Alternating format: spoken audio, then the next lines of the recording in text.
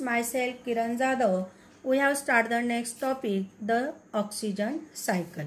याआधी आपण biogeochemical cycle बघितली second is carbon cycle and third is oxygen cycle oxygen from twenty one percent of atmosphere it is also present in the hydrosphere and lithosphere doesn't it ऑक्सिजनचं प्रमाण एकवीस टक्के आहे पण ते कुठे आहे?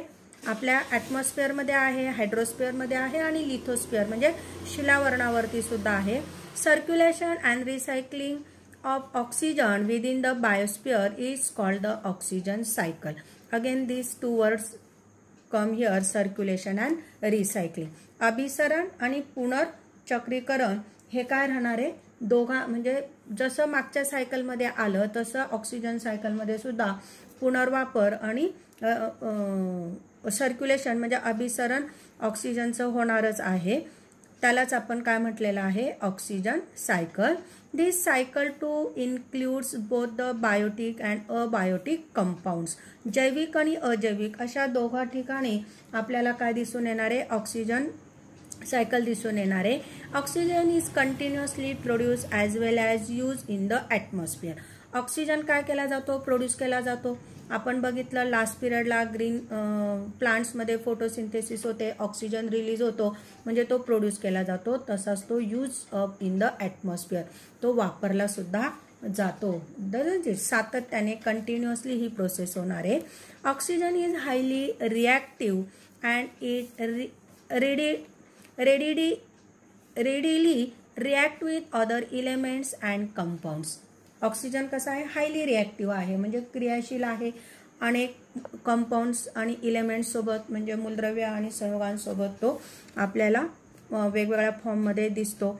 As oxygen is found in various form like molecule oxygen O two water H two O carbon dioxide C O two in organic compounds etcetera the oxygen cycle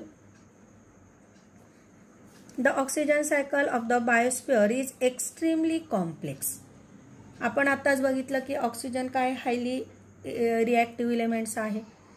त्याच्यामुळे तो आपल्याला काय दिसू लागला? वेगवेगळ्या फॉर्ममध्ये दिसू लागला. वॉटरमध्ये आहे ऑक्सिजन ओ टू फॉर्ममध्ये आहे कार्बन डाय ऑक्साईडमध्ये आहे. इन ऑर्गॅनिक कंपाऊंड म्हणजे असेंद्रिय घटकांमध्ये सुद्धा तो आहे. मग बायोस्पिअरमधली ऑक्सिजनची जी सायकल आहे ही एक्स्ट्रीमली कॉम्प्लेक्स आहे. म्हणजे कशी आहे? अतिशय गुंतागुंतीची प्रोसेस आहे. अनेक स्वरूपांमध्ये ती दिसून येते म्हणून ती गुंतागुंतीची आहे. Oxygen is release in the process of photosynthesis where as it is used up in the process in the process like respiration combustion decomposition corrosion rusting etcetera बघा आपण बघितलं की ऑक्सिजन हा रिलीज केला जातो केव्हा फोटोसिंथेसिसमध्ये प्रकाश संश्लेषण होतं तेव्हा सिक्स ओ टू बाहेर टाकला जातो. म्हणजे रिलीज केला जातो. त्याचबरोबर it is used up also तो वापरलाही जाणार आहे. कुठे कुठे वापरला जाणार आहे? रिस्पायरेशनमध्ये श्वसनासाठी आपण ओ टू वापरतो. कम्ब्युशन ज्वलनासाठी वापरला जातो. डिकम्पोजिशनमध्ये म्हणजे विघटन ज्यावेळेस होतं तेव्हा वापरला जातो. कोरोशन रस्टिंग एक्सेट्रा म्हणजे बाष्पयुक्त हवा. जर लोखंडाशी तिचा संपर्क झाला तर लोखंड काय होतं? गंजतं. म्हणजे अशा पद्धतीने म्हणूनच आपण ऑक्सिजनला काय म्हटलेलं आहे? हायली रिॲक्टिव्ह इलेमेंट्स म्हटलेलं आहे. डू यू नो थोडीशी इन्फॉर्मेशन आपल्याला दिलेली आहे. Most micro organism use oxygen for respiration अनेक सूक्ष्मजीव आहे सूक्ष्मजीव जे आहेत मायक्रोब जे आहेत ते श्वसनासाठी काय करतात? ऑक्सिजन वापरतात. These microbe are called aerobes अशा सूक्ष्मजीवांना आपण ॲरोब्स म्हणणार आहोत. Micros which do not need oxygen are called anaerobes ज्यांना ऑक्सिजनची गरज नाही ऑक्सिजन शिवाय किंवा विनॉक्सी श्वसन ज्यांना आपण म्हणतो ते जगू शकतात. त्यांना आपण ॲनॉर्ब्स म्हणणार आहोत. Oxygen is important for the synthesis of protein carbohydrates and fats uses ज्याला आपण म्हणू. रिलीज तर फोटोसिंथेसिसमध्ये होणार आहे पण कशा ऑक्सिजनचं अजून महत्त्व कशासाठी आहे तर ते आपल्याला सिंथेसाइज करून देत आहेत. काय काय? प्रोटीन्स कार्बोहायड्रेट्स आणि फॅट्स. यांच्यासाठी ऑक्सिजन काय केला जातो? वापरला जातो. It is also use in various chemical reactions अनेक रासायनिक अभिक्रिया घडवून आणण्यासाठी सुद्धा मोठ्या प्रमाणामध्ये ऑक्सिजनचा वापर केला जातो. Ozone O three produce from oxygen through the various atmospheric pressure त्याखेरीज O three ओझोनची निर्मितीसुद्धा ऑक्सिजनपासून वातावरणीय क्रिया प्रक्रियांमध्ये होत असते. अशा पद्धतीने ऑक्सिजन सायकल आपण बघितली. पुढची सायकल आपल्याला दिलेली आहे नायट्रोजन सायकल नायट्रोजन सायकलमध्ये आपल्याला थोडंसं काळजीपूर्वक बघायचं आहे. इथे आपल्याला दिसतं आहे बघा हा सगळा सॉईल पार्ट आहे. इकडे थोडे ग्रीन प्लांट्स वगैरे दिलेले आहेत. इथे थोडंसं क्लाउड्स आहेत. रेन दाखवलेलं आहे. नायट्रोजन दाखवलेलं आहे.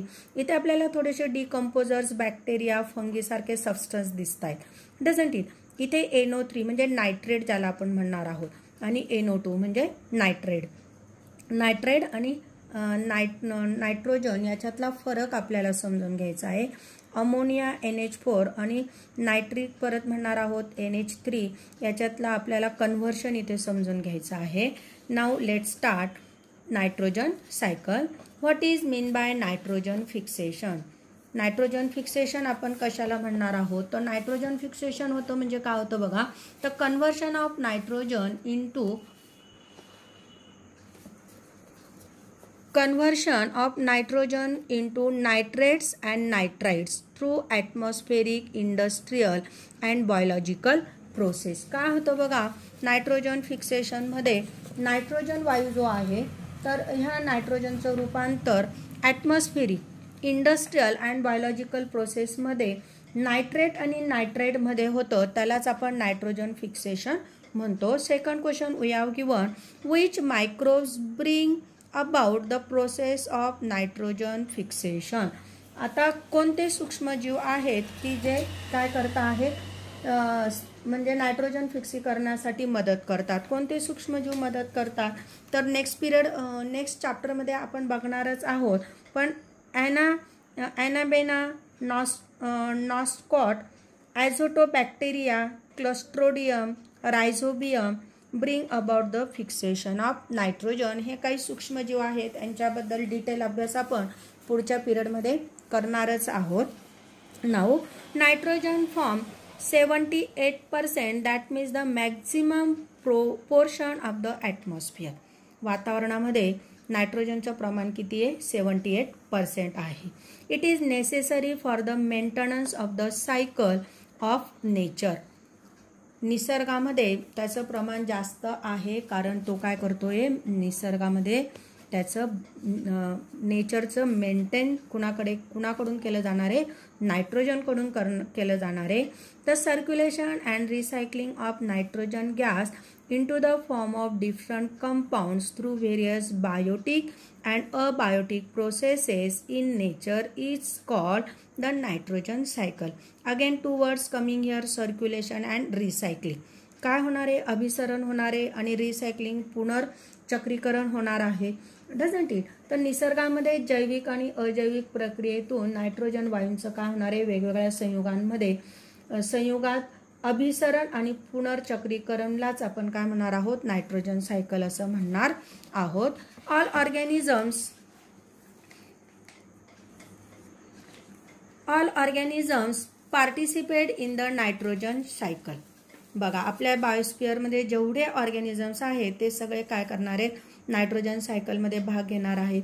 It is an important compo component of proteins and nucleic acids बघा प्र प्रोटीन्स आणि न्यूक्लिक ॲसिड यांचा नायट्रोजन काय हा एक महत्त्वाचा घटक आहे.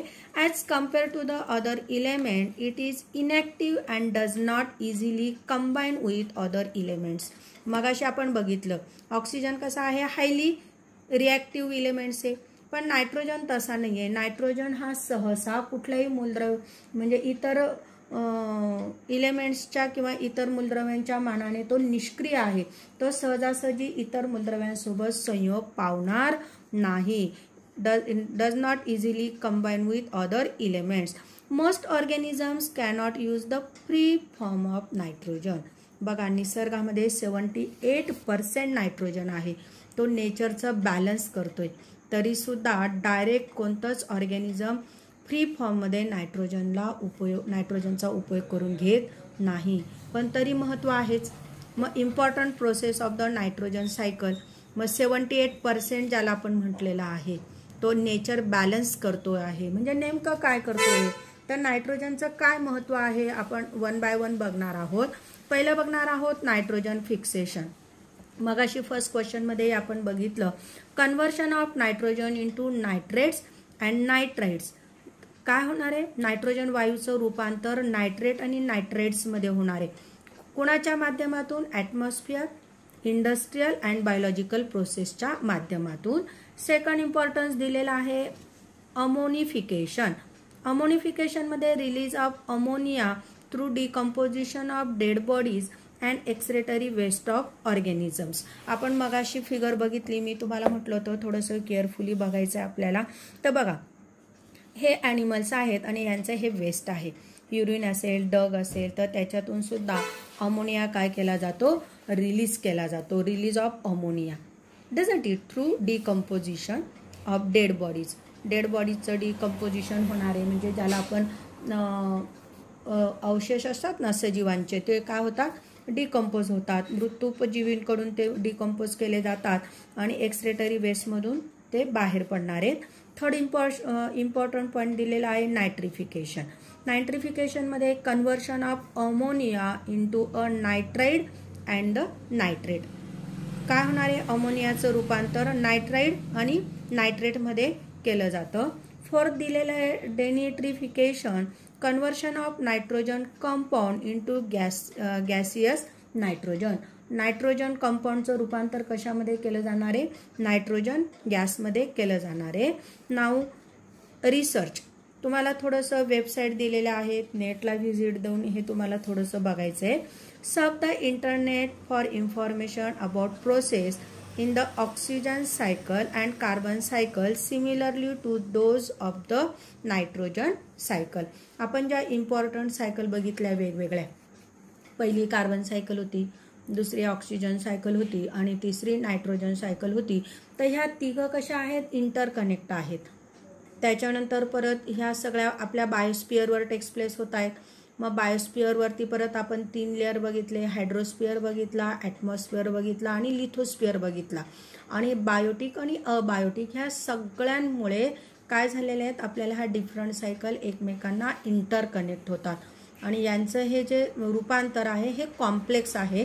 वन बाय वन आपल्याला सगळं समजून घ्यायचं आहे. सेवन चॅप्टर इथे आपण फिनिश केलं भेटूया पुढच्या पिरियडला. तोपर्यंत नमस्कार.